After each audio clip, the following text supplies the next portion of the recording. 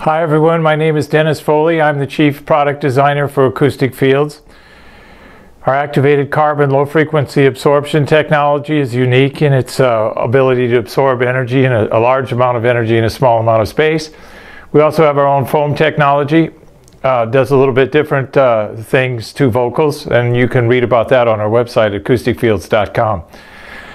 I see. A, I go into a lot of rooms and I see uh, an anomaly happening, especially in hi-fi, that uh, kind of concerns me. So I thought we'd talk a little bit about it today.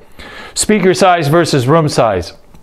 I've been in a lot of rooms where, if this is the room size, we have speakers that are almost to the ceiling.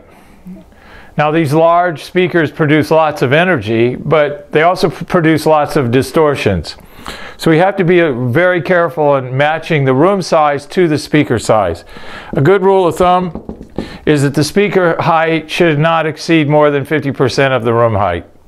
So if you have eight foot ceilings, your speakers should be no more than four foot. I think that's just a good common sense rule. Uh, it's a good way to distribute energy in the room and, and not over distribute and, and have all kinds of issues and, and distortions that come, come into play. So a critical distance is the distance in, in our room where the reflections and the direct energy are equal.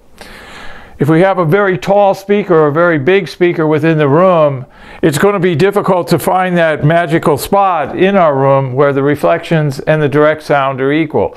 And that's a critical area no matter what we're doing. Control rooms, monitoring, um, playback environments, home theater, uh, listening rooms, whatever the case may be we need to understand that there's a relationship between the speaker size and the listening position and the room. All three variables have to come into play.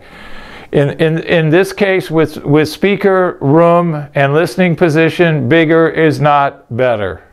Be very, very careful with this. Uh, you, you don't want to put too large of a speaker in too small of a room. Uh, speaker boundary inter interference effect even has its own name. It's, it's such a large distortion, and that's because the speaker itself is too close to a room surface boundary, and that produces all kinds of distortion and, and, issues there too. So you, you have to be very, very careful, especially with the sidewalls. Comb filtering, that back and forth uh, reflected activity that produces phantom sound, if you will, or phantom images between a speaker and a sidewall a speaker in a, a rear wall, in this case here, the speaker in the ceiling. This is a six and a half foot speaker in a seven and a half foot tall room. I just saw that last week.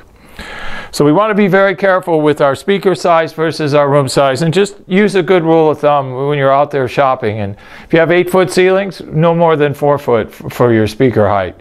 You uh, stretch it out a little bit at five feet if you, you need to, if you have a longer room. Thank you.